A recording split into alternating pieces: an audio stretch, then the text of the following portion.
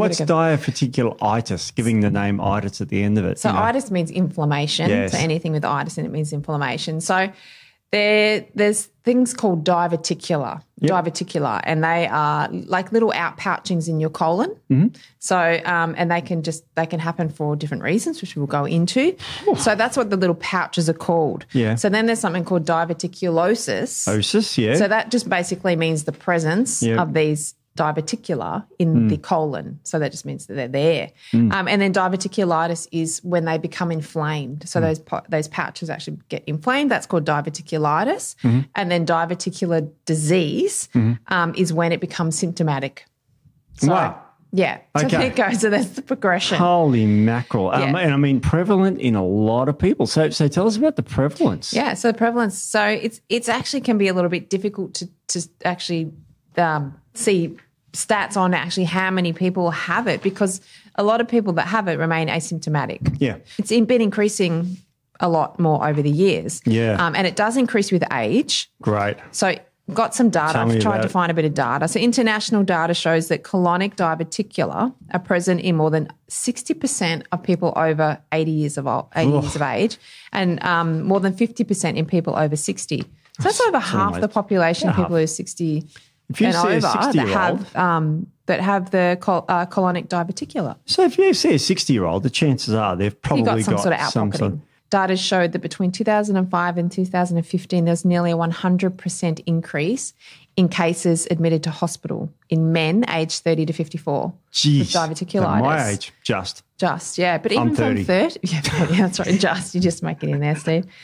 Um, yeah, and this so, so it's very similar trends overseas as well. So, very it's getting worse. Yeah, a lot worse in men. Yeah. So, um, and then there is more stats. So it is more prevalent in men. Yep. But then from the ages of sixty onwards, it's then flips and it's more prevalent in women. Ah. Yeah. So we, don't know entirely the mechanism for Yeah, that, but. I've got some ideas. Yeah, we've got some ideas, but Yeah. we, we can speculate. Certainly speculate. That'd be certainly Yeah. a way to go. But but what an incredible stats. So really very common and getting commoner, if that's much such a more word. common. Yeah. I So- mean, I mean, we're we're we're in a bit of trouble here. I mean, We are. you know, yeah. and, and there's two main forms of diverticulitis. There is. There is two main forms of diverticulitis. So there's Mm-hmm. what's something called SUD, which is simple, uncomplicated diverticulitis. So it's not the foam in the in the sink. It's not the foam, No. not no, the foam in the okay. No, no. So there's no complications, No. and then there is complicated diverticulitis, which is associated. It also has a presence of some you know, abscess or fistula, Mm. um, perforation, obstruction, hemorrhage. So so it becomes that's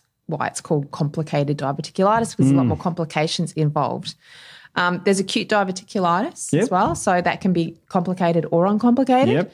And then there's something called SCAD, which is segmental colitis associated with diverticulosis. Oh my god! And that's when there's um, segmental circum, uh, circumferential colonic wall thickening. So there's thickening of the tissues in the colon in, in like a spherical sort of rings. Yes. Um, that's actually really rare.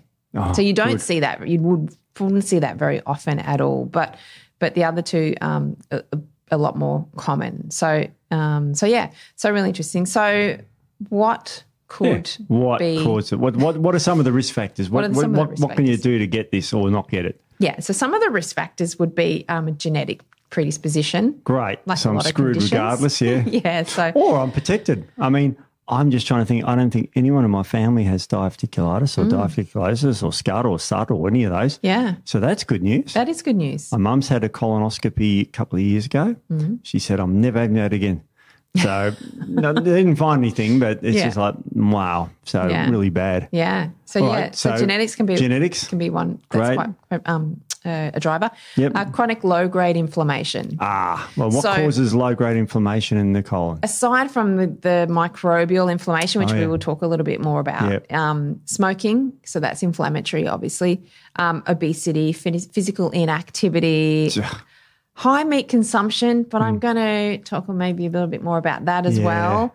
Um, so they ca- they're all possible risk factors that peop that they're, sh- they're showing could be um, Sort of risk factors for most diseases, isn't it? well, for most. I mean, smoking. anything that causes inflammation can Yeah. can lead to disease. So, um, you know, most diseases start with inflammation. So, you know, and if you have a propensity towards diverticulitis, then perhaps that's why if Yeah. you've got inflammatory issues, that's where you, you could end up. Um, and then so then colonic dysbiosis, which is that inflammation, uh, imbalances between your beneficial bacteria and more so inflammatory bacteria or microbes in that colon. So low levels of short chain um, fatty acid producing bacteria, which we have talked about in the past. Yeah. So short chain fatty af- acids, particularly butyrate, Yes. really important for the health of the colon. So really protective. So um, low levels of bacteria that produce those short chain. I'm going to highlight one in particular um, later because it's Yeah. a really good one. Is a really good and one. And we're going to get, we'll probably get that in the treatments because that's sort of Yeah. a, yeah, okay. definitely. So you've got to keep listening or you won't find the answer. yeah, treatments and management Yep. um, at the end. So hang in there. So high or low fiber diet, yeah, high, uh, high or low fiber diet. So Mm-hmm. we, when we'll talk about fiber um, and how that could be possibly a, a driver as well. Yep. Um, NSAID use. NSAID stands for non-steroidal anti-inflammatory drugs. Yeah. So, So, things like aspirins or even Indocid, Celebrex, Mobic, Yeah. um, Meloxicam. Oh, Meloxicam is Mobic, sorry. Mm. Um, but any of those NSAIDs, which Mm-hmm. are which are non-steroidal anti-inflammatory. So arthritis medication, naproxen, Yep. Feldene, Orudis, those drugs. all that. So there's, I mean, I think you've got some stats on it. Um, oh, I've got some cool stats. That's right. But there's a system, uh, systematic review There is. Um, and, meta, and meta-analysis found increased odds of perforation and abscess formation with opioid and NSAID use. Our opioid. Yeah, What's so opioid? opioids as well. So op- opioids and NSAIDs. Wow. So that can, or NSAIDs. So that could be um, uh, I've got the an issue. coolest chart. Now, this, Yeah, this I really paper. like this. Yeah. This is really good. This is published in Epidemiology, Pathology and Treatment of Diverticulitis, published in Gastroenterology. So this is like a real cool paper on. Mm. And it gives you the risk factors and, and like, and we'll just go to the drugs. Um, wrong page. Uh, it's it's just the, the drugs gives you actual numbers. So so how Yeah. bad is it really? Yeah, and how what you know how many times a week Yeah. you know seems to increase your risk for taking these these Wrong table. medications. Table one. This is. It's a big paper that one. Yeah, It's it's massive it? paper. And, and and there's some other food stuff in here Mm. too, so it's quite interesting. Okay, so medication, non-aspirin NSAID, so this would be like Panadol. Yeah. Now, if you have it twice a week, you're increasing the odds of diverticulitis by 72%. Crazy. That's Panadol. yeah. That's like every man and his dog takes Panadol. Oh, Yeah. dog, dogs or cats, it's toxic Don't- don't Panadol. give it to don't don't give it to your dog. Um, aspirin um, gives it increase by by thirty two percent. Mm. All NSAIDs together is sixty two percent increase. Mm. Um, but in corticosteroids, Oh, a lot, a lot of people on steroids, aren't they? yeah, there is quite a few. Two hundred and sixteen percent increase. Really? risk. Gee, Yeah. wow, that's huge, isn't it? I mean, and Um, obviously these this Sorry, isn't any yeah, two hundred and seventy four percent increase. That's even more so. This isn't everybody that takes those medications will end up with diverticulitis, but Yeah. as as we said, if you have a propensity towards it, then Yep. that then you then that's something that really um, can be a pretty strong driver. Yep, and And pain I've seen it in clinic. Like, like opioids you mentioned before being Yep. bad. Yeah. two hundred and sixteen percent increased risk. Really, wow. And what about vitamin D? Vitamin D, yeah. Your risk. Yeah, I've got some good stats. Oh, I've got vitamin D coming up actually. Oh, have you? Oh, shit, I gave it vitamin D. away. Gave it away, Steve. But um, one one thing I found interesting was statin use was it, it lead to an in- decrease uh, risk.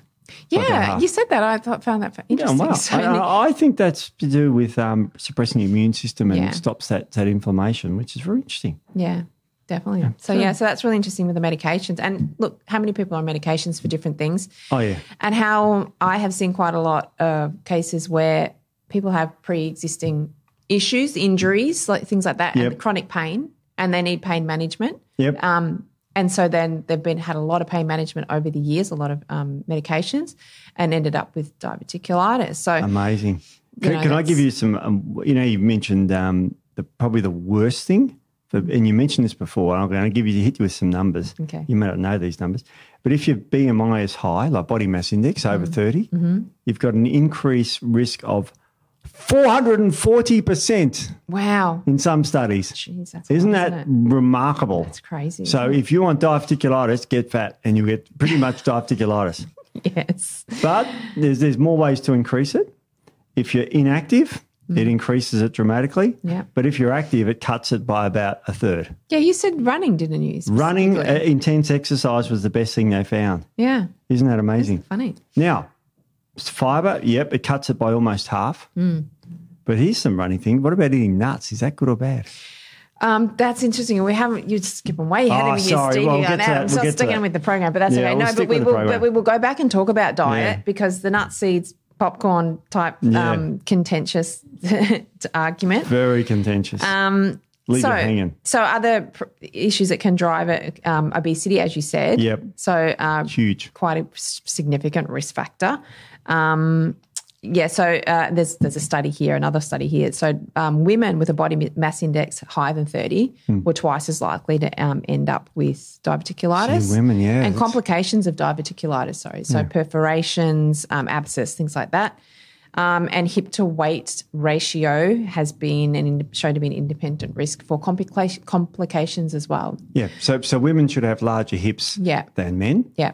Um, and their ratio should be about 0.8. Yes. So the waist should be smaller should than be hips. smaller than the hips. Should they? There should be. Yeah. And if it isn't, it's a little bit problematic. Men should be about, about one to one because men are boring. We've Yeah. got no shape No, whatsoever. We're just straight- flat up and down. down. I know. I don't know why you'd be interested in looking at men. There's no in nothing to them. No curves. nothing. Just a lot of hair.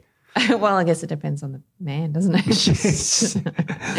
um, and low vitamin D status, Steve. So this is the vitamin D. Oh, D. Yeah. Um, so there's mechanisms linking vitamin D uh, uh, deficiencies to diverticular Ooh, disease what are they? in um, animal studies. Yeah. And supplementation has been shown to support gastrointestinal immunity. And we all know that vitamin D is involved in immune function. Yep. Um, so that's really important. And also barrier function as well. So gut barrier function, vitamin D is vitally important there as well. Ah, these too, So if you have low levels, that can be um, uh, that can be a, a factor in it as well. Um, yeah, so research into other diseases associated with vitamin D deficiency and disordered collagen and elastin indicate that it has antifibrotic action. So vitamin D can help to reduce thickening and scarring of tissue as well. Amazing. So yeah, so that's um that's another reason to make sure your vitamin D levels are good. Um, and when we say good, we like to see them. Are doctors uh, anything over fifty, and you're adequate, and you are adequate over fifty, but you don't want to be adequate. You want to be optimal. Yeah. So optimal will be around hundred. Yeah. And it should, the, the range they doctors give you is 50 to 150. Yeah. So you want to be over 100. Over 100. And if you, you know, you, ha- you have immune issues, you might even say up to 120, Yeah. 100, you know, sort of around Mine's there. So- 153. I just don't know how I remember that, but that was my oh, last test. Yeah. That's right. well, there you go. So, you go. so yeah, so we need to make sure Brown as a berry. Look at me. you are very brown. That's true. I'd go It's out outside to do intense exercise. You do. You're always swimming, running, something or other. But that's, it- you, you can combine them both. You can get vitamin D and do intense exercise at the same time. You can. Yeah. You know, get that for the treatment. But, but I mean, you know, just think about that Mm. for a sec. It's no brainer, isn't it? It is a no brainer. Great for your heart, reduce cancer risk, all that. All those good things.